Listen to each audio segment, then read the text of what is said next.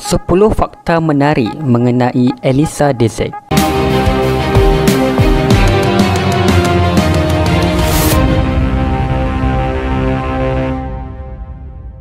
Nama sebenar Elisa Dezek adalah Ariana Elisa Dezek yang baru-baru ini tular berita mengenainya setelah membeli sebuah Toyota Velfire.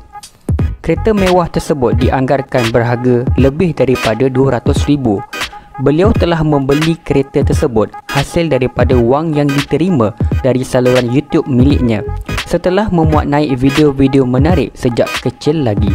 Fakta yang kedua, Elisa Dezek dilahirkan pada 21 April 2008 dan merupakan anak pertama daripada dua beradik dan mempunyai seorang adik lelaki yang bernama Aaron Dezek. Fakta yang ketiga, Elisa telah menyertai program Ceria All Star terbitan Astro ketika berusia 7 tahun. Kemudian dia sekali lagi dijemput untuk menyertai program Astro yang lain iaitu Ceria Megastar. Fakta yang keempat. Ketika menyertai program Ceria All Star, beliau telah mendapat pelbagai tawaran berlakon dalam beberapa drama seperti Patahnya Sebelah Sayap, Kasut Bola Pink dan Anak-Anak Ibu. Fakta yang kelima.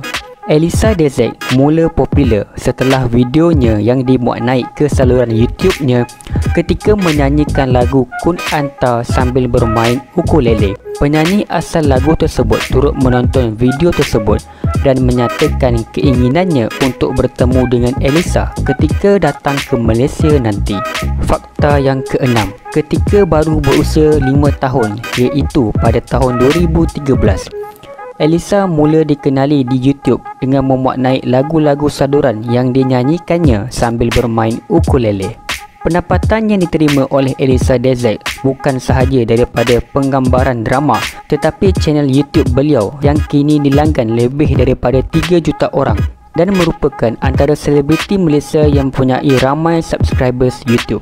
Menurut Social Blade yang merupakan laman web penjejakan anggaran pendapatan YouTube, pendapatan bulanan YouTube Elisa dianggarkan antara 7,000 USD hingga 100,000 USD. Bagaimanapun, Social Blade menyatakan bahawa ia hanyalah anggaran secara umum dan anggaran pendapatan tersebut tidak semestinya tepat.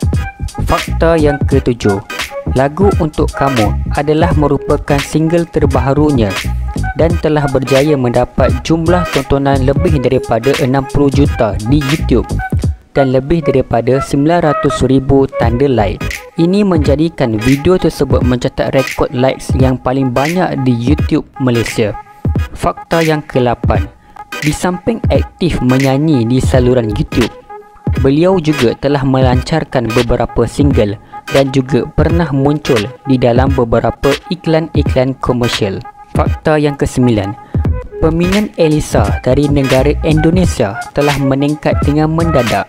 Setelah beliau memuat naik video lagu hit Merindukanmu jumlah catatan tontonan yang paling banyak Elisa adalah ketika dia menyanyikan lagu Tak Tuntuang mencatatkan 36 juta tontonan dan lagu Despacito sebanyak 9.3 juta tontonan.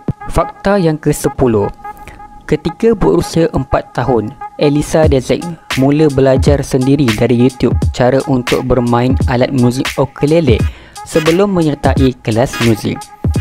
Pada mulanya, Elisa tidak dibenarkan menyertai kelas muzik kerana faktor terlalu muda. Tetapi setelah melihat dia begitu bersungguh-sungguh ingin belajar serta kebolehannya membaca notasi muzik, akhirnya Elisa diterima masuk ke kelas muzik.